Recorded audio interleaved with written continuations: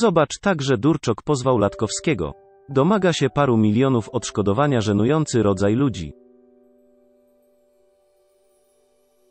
Mocne słowa wojewódzkiego. Dostało się paru celebrytom widzowie złożyli skargi na TVP.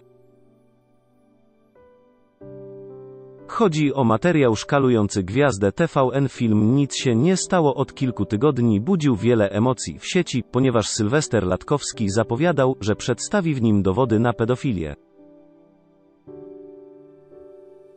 Głównym bohaterem był Krystian w pseudonim. Krystek, znany również jako łowca nastolatek z Pomorza. Mężczyzna miał molestować i gwałcić nieletnie dziewczyny, a do praktyk na tle pedofilskim miało dochodzić w jednym z sopockich klubów, w którym bywali też celebryci, w tym Kuba Wojewódzki, którego wizerunek pokazano w filmie.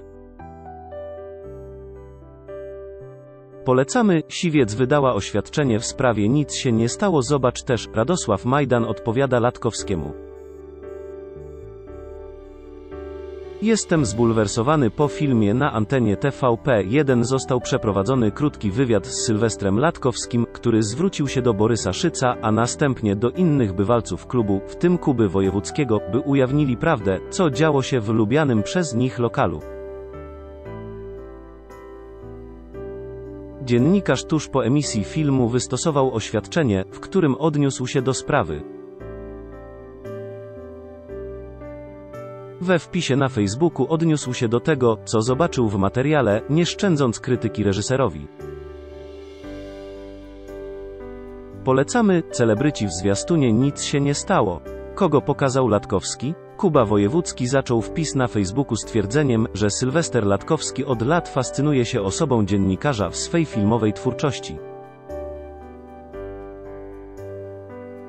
Jako dowód podał jeden z filmów twórcy, w którym reżyser chciał ujawnić kulisy programu, którego Wojewódzki był jurorem. Kuba Wojewódzki krytykuje Sylwestra Latkowskiego za nic się nie stało. Następnie Kuba Wojewódzki odniósł się bezpośrednio do filmu Nic się nie stało i manipulacji, na jaką pozwolił sobie Sylwester Latkowski.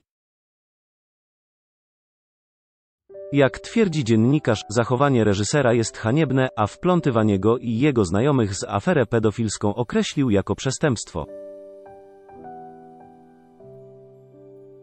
Kuba Wojewódzki pozwie TVP i Latkowskiego za nic się nie stało pod koniec wpisu Kuba Wojewódzki określił Sylwestra Latkowskiego miałem płatnego medialnego zabójcy, a także zapowiedział pozew przeciwko reżyserowi i TVP, która wyemitowała film.